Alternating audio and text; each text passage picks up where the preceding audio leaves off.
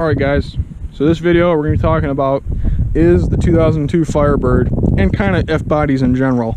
Are they still relevant in 2021 is this car worth buying in 2021 short answer it depends. Long answer here we go. Okay the v8 cars have appreciated a whole lot recently and personally i don't think they are worth buying they are very expensive now. They all have problems. They're all old. The newest possible one you can get is a 2002. And uh, yeah, if you're paying like more than $10,000 for a V8 F-body, I think you got a problem, okay? There's better cars to buy. There really is. Now the V6 cars on the other hand are still very, very cheap. Like I'm talking $2,500, $3,000 cheap. I got this car several years ago for 1600 bucks.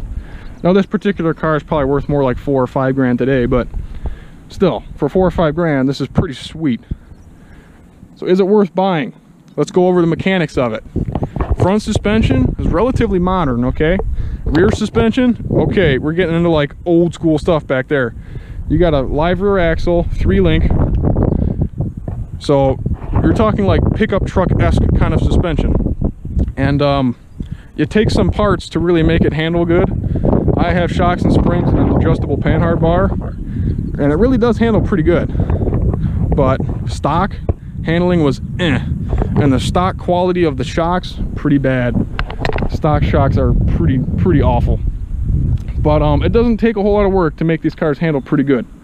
But even then it's still a live rear axle. If you hit a bump in the middle of a corner the car does get jostled around there's ways around that. You can do independent rear suspension conversions. You can do a Watts link. Maybe I'll look into that someday, but you just got to be careful with bumps. Now let's talk about powertrains. So you have the 3.4 V6, which is on the early V6 cars. You have an LT1, which is the early V8 cars. You have a 3.8 V6, which is the later V6 cars. Or you have an LS1, which is the later V8 cars. I would personally avoid the 3.4. Not because it's a bad engine, but because the 3.8s are about the same price and they're a better engine. You get 40 more horsepower, a lot better reliability, better fuel economy, all around just better. LT1s, they used to be really, really cheap. Now they're not. So really, I would kind of avoid an LT1 these days because the LS1s were never like dirt, dirt cheap. Um, but now the LT1s and the LS1s, the gap between the prices of them has really closed up. So I would really go for an LS1. But the LT1s are cool. My first Trans Am was an LT1 and I loved it. It was awesome. But these days, it's the LT1s aren't, aren't cheap like they were when I got mine. So, is it worth buying?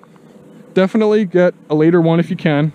Not only because they look better, but because you just get a newer car in the end. It will probably have less issues. Probably be better, uh, better condition overall, you know especially if you're in a northern climate like I am. The, the newer a car is, the chances are the less rust it has. So that's definitely the way to do it if you can. Another thing to consider is um, mileage, okay? Now there's a lot of F-bodies out there with like 80 or 90,000 miles that are still destroyed just because of how they were taken care of. Now this particular one has 102,000 miles on it and it's really not bad. But that's because the guy who owned it just really used it as like a fun commuter car he just, you know, putted around town with it and he had fun. The guy who had my Trans Am, it has, my Trans Am has almost the same amount of miles as this car. We're talking like within a thousand miles of this car and my Trans Am is destroyed. Like I have to replace like much of the car because of how it was abused. And that's really what it comes down to is the uh, the V8 cars are generally much more abused. So if you get a V6 car, chances are it wasn't ragged on so bad and it'll be a better ownership experience overall. Is it worth buying in 2021? It comes down to what you are looking for. If you're looking for a cheap sports car, find a V6 F-body. They're fun, relatively practical, they're cheap, and with some minor modifications, you can do a you can do a pretty cool setup with it. So definitely, definitely something to keep in mind. The V8 cars, personally, unless you can get it for a reasonable price, I'm talking under $10,000, I really, I really wouldn't recommend it. Unless you're like, I'm an F-body guy, I'm a die-hard F-body guy, I need like the nicest F-body known to man, and I'm gonna spend 15 or $20,000 on one, I mean, I think that's foolish just because there's better cars for the money. There really is. Fifth gen Camaros have depreciated a whole lot recently and they have become very good values. And that is a much better use of your money. So if you're if you're at $15,000 and you're looking at a 100,000 mile 2010 Camaro Super Sport or a 100,000 mile 2002 Trans Am, get the fifth gen. Just do yourself a favor, get the fifth gen it's not worth spending big money on F-bodies. These cars used to be a dime a dozen, now they're not. Not really sure why. I guess people just like the way they look or something. Um, I bought mine when they were really cheap, and I still love them. I kept them because they're they're really fun cars. But man, the appreciation of them is uh kind of hurts a little bit.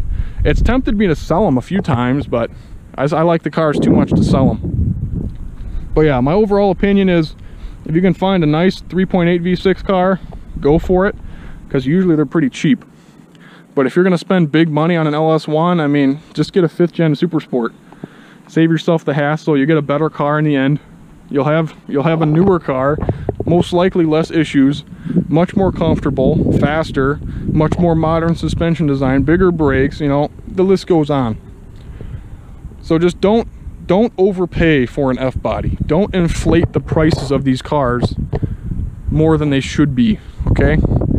This car right here, I don't think it should be worth more than like $6,000, okay? I think five grand is about what you would pay for this car. In my opinion, what it's worth. Now, obviously, worth value is determined by what somebody will pay for it. So if some idiot is gonna pay $20,000 for a 90,000 mile Trans Am, then I mean, that's what it's worth, I guess. But I'm just telling you, make your money work for you, buy a better car. Because these cars, they're really cool, but they, they have a lot of issues. The build quality is not great. They're not put together fantastic. A lot of plastic stuff breaks, stuff rattles, they're loud. So if you use the car like I do, which is just a fun play car, take it out, have fun, put it away, then these cars can be a lot of fun and they can be a lot of bang for your buck, but the V8 cars are no longer bang for your buck. The V8 cars have, their value has exceeded what they are actually worth. But yeah, that's my opinion on is the V6 Firebird worth buying in 2021? Yes. Is a really expensive V8 F body worth buying in 2021? No, no it is not. Don't do it to yourself. Go buy a fifth gen. Even even an s197 mustang. Those are underrated cars. Those are fun. I really like those and they're they for a while there they were really cheap. They kind of shot up a little bit though but coronavirus has kind of shot the prices of everything up a little bit but i'm sure the s197 mustangs will come back down. But yeah any questions comments put it down in the comment section. Any recommendations for videos feel free to put them in there. Thanks for watching, guys.